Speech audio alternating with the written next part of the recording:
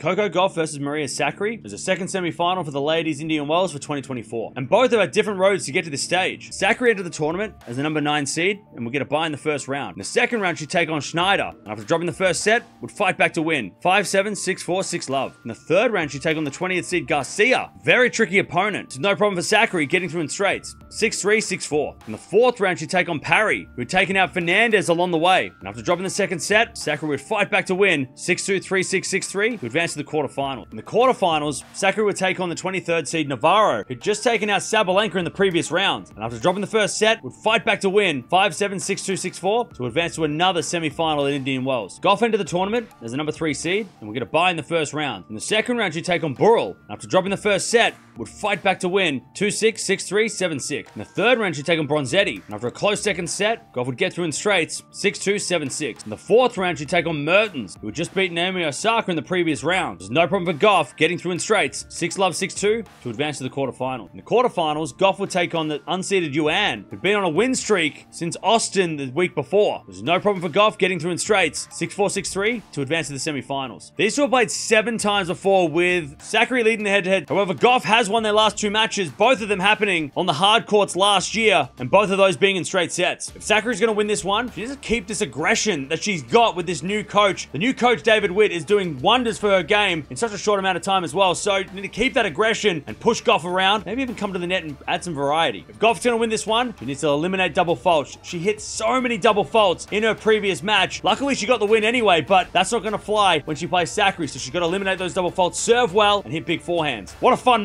matchup. We've seen these two play so many times over the last couple of seasons. Sakkari's playing so well. Gauff also trying to make a final here for the first time, but I've got to go with Sakkari in this one. I just think Sakkari, the way she's playing at the moment, especially at India Wells, I'm going to go for the upset win, and I think she's going to beat Gauff in three sets. Gauff's serve is a real worry for me, so I'm going to go with Sakkari, but let me know in the comments below who's making the final.